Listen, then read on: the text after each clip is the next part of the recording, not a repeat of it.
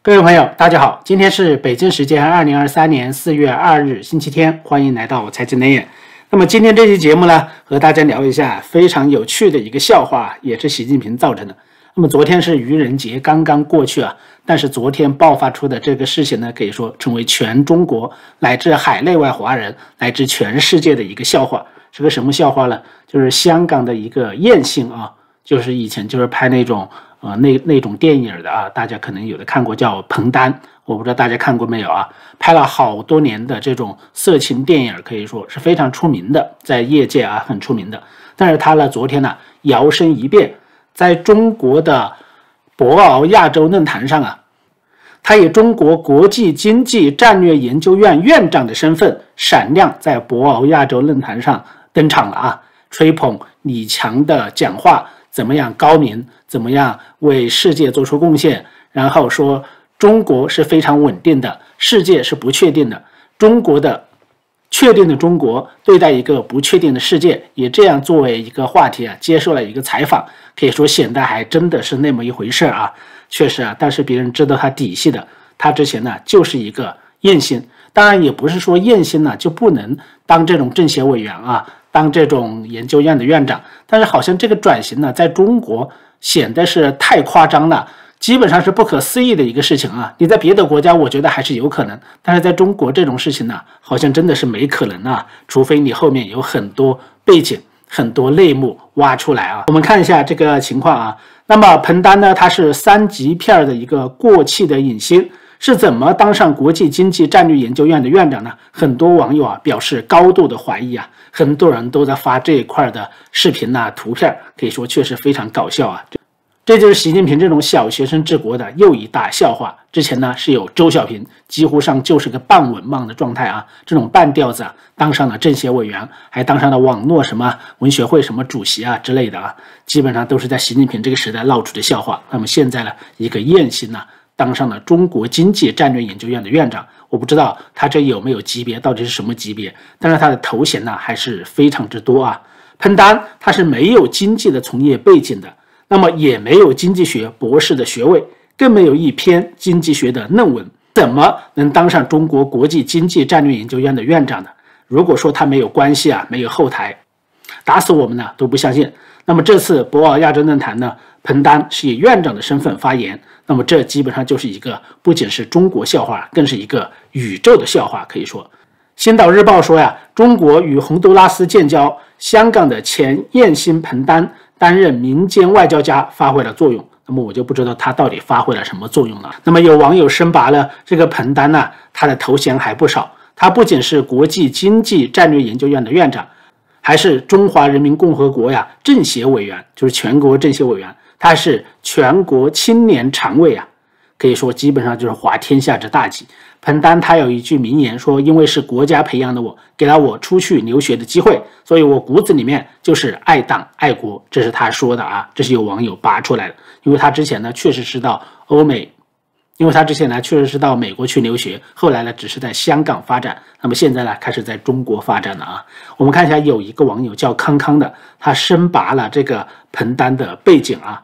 点出了他背后有干爹的撑腰，而且这个干爹的来头啊非常不小，基本上是在中共里面是排得上前几位的啊。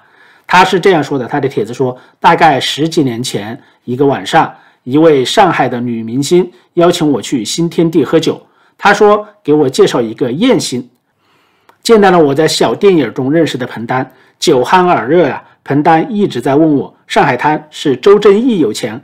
还是叶立培，也就是众盛的老板有钱，因为这两个人呢说都对彭丹很好啊。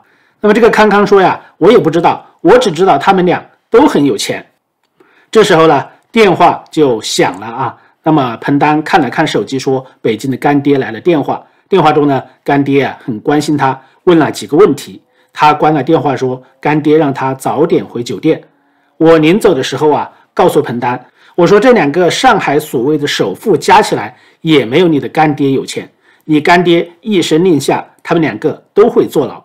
这两人后来啊都进去坐牢了。离开新天地之后啊，我一步三回头，腿也有点踉跄。我怕后面突然有人拍我一下，然后我就失踪了。现在彭小姐吸引成为了一个国际问题的专家了，确实让人高兴。中国又多了一个专家。那么从他后面的发言可以说，基本上有这种嘲讽的意思啊，但是也不是非常明确。他可能也知道彭丹背后的这个背景啊，确实来头是不小。那么这个康康呢，看得出来是认识彭丹的啊，有这样的一个经历。从他发的消息来看呢，也不像是编的撒谎，也没有必要，对不对？那么按照他的描述，彭丹的干爹到底是什么人？现在有网友拔出来啊，彭丹的干爹啊，现在在中共体系里面是排名第三啊，而且是全国人大常委会的委员长。大家想想他的权力有多大？所以这个康康呢不敢明说呀，也是理所当然的。所以有这样一个干爹在，大家也就不难理解了，为什么彭丹摇身一变呢？能从前燕兴一下子变成什么中国国际经济战略研究院的院长这么一个头衔？可以说，这种头衔就算是你在国内读了这种经济学的博士，都不一定有资格能当得上的。但是一个燕兴呢，摇身一变就变成了这个头衔。当然了，也有一种说法呀，说这个赵乐际他的发达呀和这个彭丹有很多的关系。为什么呢？那么有小道消息说了，赵乐际和彭丹的关系啊是很好。第一次去习近平家里啊，是这位彭丹呐带赵乐际去的。那么为什么彭丹和习近平家走得这么近呢？那么这就要和他的夫人彭丽媛说起啊。彭丽媛呢曾经在香港有过停留，那么香港明星呢基本上都看不上彭丽媛这样出身一个山东的大大咧咧的大姐啊。但是在香港。只有一位同姓的彭，叫彭丹，也就是大陆出身的演员呢，和彭丽媛很投缘，所以彭丹在香港的时候很照顾彭丽媛，然后呢，两个人就成了好朋友。后来呢，赵乐际啊，他因为和彭丹关系好，他就通过彭丹的关系啊，巩固了和习近平家族的关系，那么最后顺利的飞黄腾达，就有这样一个关系在里面。所以赵乐际可以说是利用他的干女儿这样一层关系啊来发迹的。那么这个说法呢，其实也有很多佐证啊，大家感兴趣的自己可以再去研究一下。当然，这也是一种说法啊。发言呢还煞有介事，称赞李强总理什么为世界经济啊发展做出贡献，然后呢说稳定的中国，不稳定的世界。基本上像这样的言辞啊，也不是他能讲得出来的。以前我们总说晚清怎么腐败，二十年目睹之怪现状。那么现在把中国的这些滑稽的事情和那个一相比，那些都不算什么事儿了。现在的事情呢，更加像怪现状一样。比如说像周小平这种人可以当政协委员，然后在全国走红；然后像彭丹这种艳星，一下子啊摇身一变，代表中国在国际上发言，是不是滑天下之大稽，非常可笑啊？所以有小学生治国在，可以说各种奇葩的事情呢都可能发生，只有你想不到，就没有他们做不到的啊。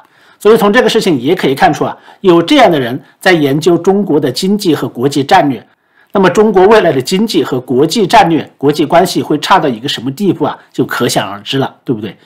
那么说完这个事情呢，我们再来说另外一个事情啊，就是这几天呢，国际媒体包括海内外的媒体啊，都在猜测全球有一家央行啊，从美联储以国债抵押的形式借了六百亿美元的钱啊，那么这个央行到底是谁？现在目前呢，猜测，现在目前呢，猜测最多的就是一个是瑞士，一个是中国或者是香港。如果真的是中国或者是香港的话，那么这个事情可能就非常麻烦了。我们看一下这个具体情况啊，因为美联储呢刚刚公布了，就是说有一家央行呢用手中大量的美债做抵押，然后从美联储啊借了六百亿美元。这个事情呢在国际上炒得沸沸扬扬。到目前为止呢，这笔钱呢还仍然是没有还上，还差五百五十亿美元。那么借钱的这家到底是谁呢？其实啊，从这个六百亿的规模，我们就可以做一个排查。我们知道，全球央行啊持有美债的国家，包括持有美债高达六百亿美元以上的国家，其实总共就没有多少个啊，基本上就是二十三个。但是你想想啊，你不可能说你手上刚好有六百亿美元的美债，然后你就可能向美联储借到六百亿美元的钱，这个也是不可能的。你至少要有达到个八百亿以上、一千亿以上的规模，有这样多的美债，你可能才借到六百亿，它要打一个折扣嘛，对不对？所以按照这样来筛选的话，其实啊选项就不多了。全球持有一千亿美元国债以上的，就是持有美国国债以上的国家，其实就是没有几个。但是我们再来进一步排查啊。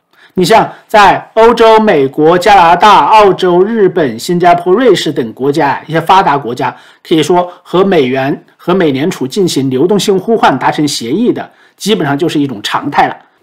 因为这些国家的货币啊都是国际货币，他们和美联储啊可以进行货币互换，所以借到美元，这个就不用猜，对不对？这个六百亿美元很可能就不是这些发达国家。然后另外一方面呢，你像巴西、印度这样一些国家呀，虽然有一定的外汇储备，但他们目前呢国内没有出现金融性的问题，没有紧急到要向美联储借这么多钱的地步，所以这些国家呢也排除了。那么剩下的其实不用猜啊，剩下的基本上就是香港或者是中国啊。那么这两家不管是谁借，都可以说明呢，人民币或者是港币啊，已经是要出问题了，所以急着向美联储借这种流动性。香港和中国基本上都有这样的实力啊，他们的外汇储备都比较高，而且呢，持有美债的规模也比较大，所以都有这种资格向美联储来借这么多钱。特别是我们看到啊，最近这个。港币啊，可以说这个走势是非常之弱啊。前几天呢，还是一度跌破了这种弱保证方，这是几十年都没出现的情况啊。但是就被跌破了，后来当然也会被拉回去了啊，拉回去了。但是时间呢非常之短，所以就算是非常之短，其实也释放出了一个非常危险的信号，就是啊，全球都在攻击港币，特别是一些做空的啊，就是在赌啊，港币将和美元脱钩。为什么这么猜呢？因为港币。特别是香港持有的这些外汇储备啊，很多其实都借给中国在用了。香港的外汇储备啊，是不足以应付港币的这种波动的。很多人呢，其实就是在利用美元和港币的息差来借港币换成美元。一方面呢，美元对港币是升值的；另一方面呢，美元的利率又比港币高，所以吃双份儿啊，赚两份钱。所以这样的港币可以说一直在被国际资本呢在做空，所以现在是扛不住了。从这个角度来说呢，就是说香港借这个六百亿美元的可能性呢还是非常之高。因为港币如果和美元脱钩的话，香港的信心呢会受到巨大的打击，全球的资本可能会更加离开香港，蜂拥离开香港。那么香港的股市，那么香港的股市、债市、楼市等等金融系统可能就会坍塌。而香港的金融系统坍塌了，这种危机啊就会传导到中国的银行系统和中国的金融系统去。所以目前呢，中共政府啊还是在帮香港维稳的。那有朋友可能会说，中国的外汇储备不是有三万多亿吗？几百亿美元都掏不出来吗？还至于向美联储去借吗？大家注意啊，中国政府确实号称有三万多亿的外汇储备，但是我们知道，你这个储备啊是在没有扣除你对外负债的情况之下，中国的外债啊就高达二点六万亿。所以这样扣下来，基本上还剩下四千多亿美元，对不对？四千多亿美元，你还有其他的一些资产呢，你是不能动的呀。比如说你的美债还有那么多，对不对？当然美债还是流动性比较好的，但是你不可能全抛了，因为那是最后的一点家底嘛。还有你其他的形式存的这种外汇储备，有的也是不容易变现的。所以这样啊算下来之后啊，其实中国手上能动用的美元可能就不超过一千亿。而且中国还要进口很多外面的东西，对不对？他不可能把这些钱全部掏到香港去用啊。所以这样算下来啊，就是说，不管是中国还是香港政府向美联储借这个六百亿美元呢，这也就在情理之中了。那么，如果后面美联储啊真的是公布了是中国的央行或者是香港的政府借的，那么这个事情呢，可能就释放出一个非常悲观的信号。未来不管是香港的资产还是中国的资产被大规模做空的可能性就非常之高。但是美联储是否会公布这样一个借钱的人呢？目前来看呢，可能不好说。在这个视频呢，本来要做完的，但是我刚刚看到一个突发的消息，在这里跟大家说一下，可能闹得还是比较大啊。成都啊，可以说四川成都啊，他们这里的人呢，反抗精神还是非常之强的。那么最开始呢，这个事情呢，其实就是一个小区里面，一个大小区里面啊，业主之间的冲突，但是最后啊，演变成了这种民众和警察的对抗。这个事情呢，现在还没有收场，就是在今天晚上发生的。我们看一下到底是怎么回事啊？四月一日，成都的成华区的华侨城一号发生了大规模的民众冲突。最开始是民众和民众之间发生冲突。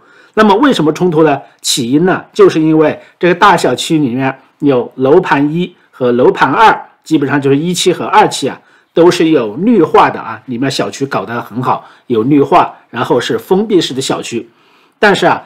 三期是没有绿化的，它是一个开放式的小区。那么，为了将三期小区啊与自己家的小区隔离开来，那么一二期的业主就联合把中间建了一个围栏，把三期小区隔离在外了。这个事情呢，就遭到了三期小区的强烈反对，然后当天呢就爆发了大规模的冲突。两边小区的人呢就打在了一起，一边呢拆围墙，所以这个事情闹得非常之大。我们从视频里面其实可以看出来，这个冲突啊还是非常激烈的，爆发出了很多打人的事情。那么这个事情呢，原本说应该是很简单，然后政府出来维持一下秩序，把双方拉到一起来协调就完了。但是现在的问题是啊，基本上没有协调，警察啊就派了大量的警力下来，开始来抓人，抓这些打人的人。那么双方都有人动手打人，所以双方的人都抓。这样一来呢，就引发了民愤，很多警察呀就对双方的业主进行了围攻，然后呢组成人墙，把他们隔离开来。然后把打人的一些人呢，就大量的抓走。这个事情引发了两边民众的愤怒，然后开始阻止警察抓人，然后呢高喊口号。那么从视频里面其实还可以看到警察有殴打人的行为，所以这个事情呢引发了民愤啊。那么追究这个冲突的原因呢，我觉得还是这个房地产开发商承担主要的责任。为什么呢？因为一二期别人买房的时候，你承诺是有绿化、是封闭式的小区，对不对？你现在在旁边建了个三期，把三期和一二期联合起来打通了，然后三期的又没有绿化，所以肯定呢，三期的很多人会经常到一二期来，那么导致一二期的业主就不满。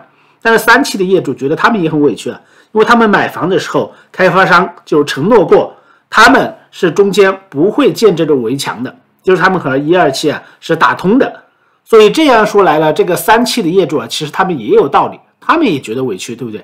那么根源的问题还是在开发商的责任。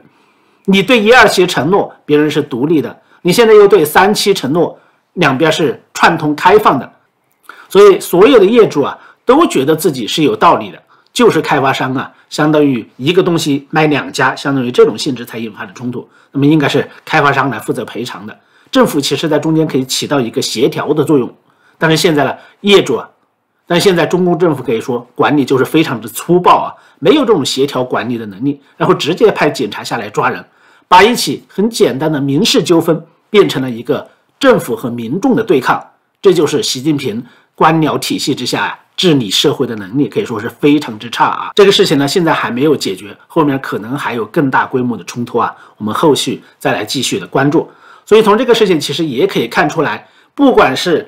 这个业主的之间的冲突演变成这种暴力的对抗，还是说燕兴登堂入室变成政协委员，当这种什么院长啊，还有周小平这样的人成为政协委员，都可以看出习近平这个政府现在的治理能力啊，已经是越来越差。把这些三教九流不入流的人，或者是文盲一些乱七八糟的人都搞得来治理国家，那么这个国家能治理得好吗？他不乱才怪了。就像习近平，他本身就是小学文凭，然后他几个常委。基本上都没有正规的本科、硕士研究生，对不对？都是这些乱七八糟的一些中专、大专，然后是初中啊、小学的，这样的国家，他们怎么能管理的好了？好，今天节目就到这里，请大家随手关注我频道、转发、点赞，谢谢大家收听，再见。各位朋友，大家好，我们是一家加拿大温哥华的律所。今天借着财经冷眼线上的宝地，给大家普及一下加拿大移民知识。这两年，很多发达国家都在对移民关上了大门。五大理想目的地中，美国、欧洲、澳洲、新西兰移民门槛越来越高，排期越来越长。只有加拿大因为劳动力短缺，不仅没有收紧关闭，反而逆势而行，大肆敞开招纳移民。最新消息，加拿大总理。加请刚刚宣布，计划在未来三年内为加拿大引进一百二十多万移民。目前，移民加拿大已经成为全球疯抢的诺亚方舟的船票。我们律所地处温哥华核心商圈，团队由几十位不同领域的精英律师组成，是加拿大温哥华当地最具规模的律所之一。不同于传统的国内移民服务机构。作为加拿大的律师楼，我们专注根据客户需求量身打造移民方案，脱离传统中介广撒网、各国移民齐推广的模式。多年来只专注于做加拿大移民，不断的积累客户办理经验，以达到最高的成功率。截止到现在，我们已经成功为两千多个家庭办理了加拿大永居移民身份。律所拥有各领域法律相关的从业律师有三十多个，加拿大境内外专业移民服务团队。有五十多人，我们拥有行业内最专业的咨询及文案团队，迄今为止保持行业最高的通过记录。主要办理的项目有加拿大雇主担保移民，八十到一百二十万人民币，一年半到两年，全家拿到枫叶卡，只需要大专以上学历，雅思四分，部分项目还可以免雅思。加拿大投资担保移民，无需经商经验，无需资产解释，投资入股成熟稳定的企业，一年半到两年全家枫叶卡，实现移民和投资双赢。加拿大联邦自雇移民，文化娱乐体育行业的自营职业者，有相关专业背景，过去五年内有两年的自雇经验即可。此外，还有企业家移民、创业移民、联邦技术移民、各省的留学移民等等几十种移民方案。目前我们在温哥华、多伦多、蒙特利尔、悉尼、卡尔加里、萨斯卡东等地均设有直属的分支机构，除了帮助大家办理移民，同时提提供全方位的后续安家服务。移民确实是有很多的挑战，需要巨大的决心和勇气，是强者的游戏。但是万事开头难，路虽远，行则至。为了您的孩子，为了财富安全，只要现在开始行动，一定能圆您的移民梦。有兴趣的朋友可以加入财经冷眼的讨论组，有专家为您一对一的解答所有的移民相关问题。